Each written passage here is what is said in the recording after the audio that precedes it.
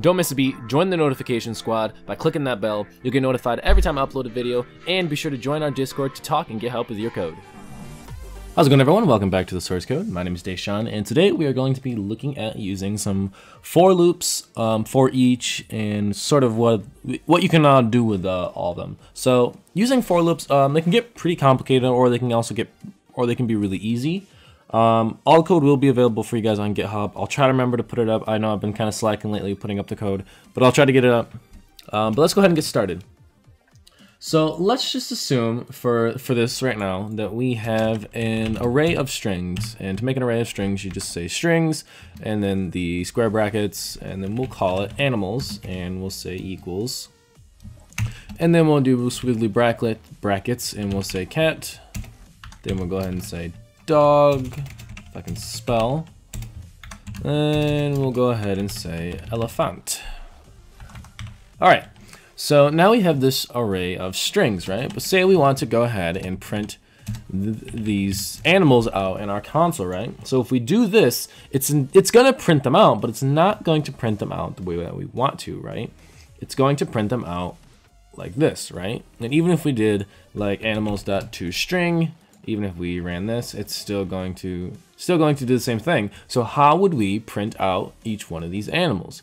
Well, what we can do is we can use a for loop, right? So we can go ahead and say, in, in most IDEs, you can actually just go ahead and say animals dot for, and it'll actually go ahead and set it up for you if you chose so choose to do it that way.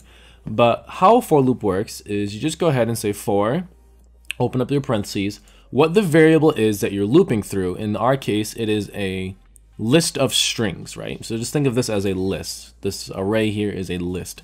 We have a list of strings, and each string we're going to represent as animal. So now we can go ahead and say system.out.println animal, and now you can see that we're getting each one of our um, strings there. So that's a really easy way to do it. Um, so what the next thing we can do is if we go ahead and just erase this and we say animals dot for, and you can see here that we're going to do a for uh, using an integer value. So we're going to be incrementing um, our value here. So basically what we're saying here is we have our initially initialization condition, right? So what we're starting at. Then we have our testing condition. So we're testing to see if i is less than animals.length. And if it's greater, then we're going to stop, right? And then we're going to add one to i or our increment decrement. Um, so we're going to add one to i, right? So then what we can do is we can go ahead and say system.out.print line uh, animals. Dot, oops, sorry, not animals. So we can just go ahead and say system.print i. And now if we run this, you can say that we're getting 0, 1, 2 because we have three items in here, right? So we have 0, 1, and 2. Remember, in Java, um, everything starts at 0.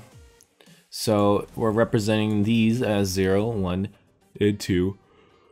So if we actually go ahead, sorry, John, if we actually go ahead and say animals, and with this we can actually do it like this, and we go ahead and say animals bracket i, since it's an array, we can go ahead and use the bracket there, and we can get a specific value. So now we can go ahead and say this and we get the same output. A little more complicated this way. If you don't necessarily want to do this way, you don't have to, but for whatever reason, if you needed to do this way, you could.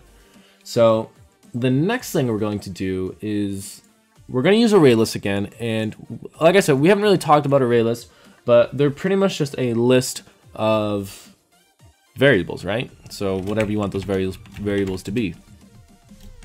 So let's go ahead and say we have an array list of strings, and these are going to be animals, and we'll just say a new array list.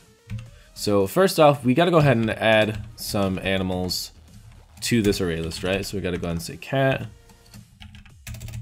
and then we'll go ahead and say animals dot, oops, add dog, and just to change it up so you know that our code is different, we'll go ahead and say uh, lion, and then we'll go ahead and add one more. And let's just go ahead and add a seal. Okay, so now that we have our array list of items, we can go ahead and now loop through this. Now with array list, you can do something a little bit different here, right? So we can go ahead and say animals dot for each. Now this is new in Java 8, I believe it was implemented, a lambda expressions. So we can go ahead and say for each, and then now what we can do is we can choose what we want to represent each one of these as, right? So what our variable name is going to be. So think of it as just this animals here, but for each one of these individuals. Similar how we did the for loop before, uh, we'll just go ahead and just say that each one of these is going to be called animal. Then what we're going to do is we can, since if we were going to insert more lines of code, we could actually go ahead and just do it this way, and we can go ahead and do system.out.print and then we can go ahead and say animal. But since we're only doing this one thing here, it's actually going to say we can replace this with a method reference, and so we don't even need to say or give it a variable name because we're just going to only system print out this one particular line of code. All right, but say we wanted to do more here. Um, say we wanted to, you know, output a few items here. We can just go ahead and add some squiggly brackets there and let's just go ahead and press enter. And then we want to just say uh, uh, let's just say let's just give uh, let's just get a variable up here. We'll just call this int counter equals zero just so we have another line of code here. And then we can just go ahead and say counter plus plus. Oops and uh, let's just move this uh, up to here. So we'll just say private counter plus plus, private static counter plus plus. There we go. And then we'll just go ahead and add the counter. And now you can see there that we have multiple lines of code and it's going to be executed uh, every single time. So we can actually go ahead and say system dot dot dot print line counter. And let's just switch these around here so we can make sure we're starting at zero. And if we go do this now, you can see there, zero cat, uh, dog one, lion two, seal three. So that's pretty much all I got for you guys today. Uh, again, I know these Java videos are extremely short, um, but they will be good for the future. I know if you're following the series right now, it can kind of seem like it's kind of dragging along, and it's kind of boring. Um, but think about in the long run, when somebody comes back to these videos later on in the future, um, they'll be able to find these really short, very concise uh, videos to watch. So thank you for watching, and I'll see you guys next time.